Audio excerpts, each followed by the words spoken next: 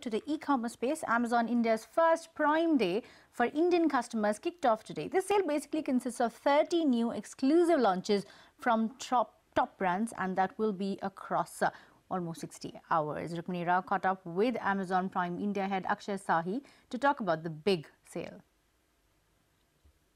We have more than 30 of the top brands across categories, including mobile phones, TVs, um, lifestyle equipment, home and kitchen, etc., mm. lined up for launch exclusively to Prime members on this day. So we we really hope they enjoy the selection. At the same time, we have sourced um, thousands of deals at the best ever prices on the products that customers mm. love the most. We've tied up closely with our vendors as well as our sellers to make the selection available. Um, so we hope customers really enjoy those great deals. At the same time, no Indian celebration is really complete without video. Um, so Prime Video, in fact, has launched six exclusive titles. These are premieres um, in India over the last six days. This culminated with the launch of Inside Edge, our first Indian original, this morning.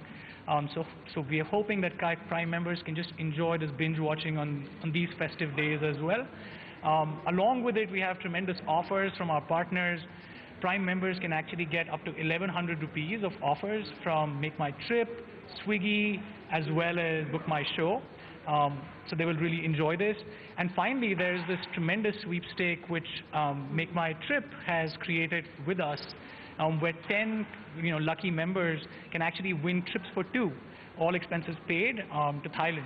Also, if you can give us a sense of uh, the growth that you've uh, been seeing uh, for your Prime subscription in India, is it encouraging for now and the kind of growth that you expect for the rest of the year? That just since January, our Prime membership, member base has grown by more than two times.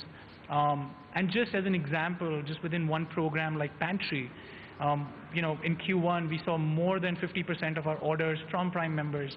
And this is everyday shopping. So those trends are extremely healthy and encouraging for us. Well, uh, if you haven't, then uh, try to take a look at that uh, mega sale, which is uh, supposed to last for almost 30 hours or so. But uh,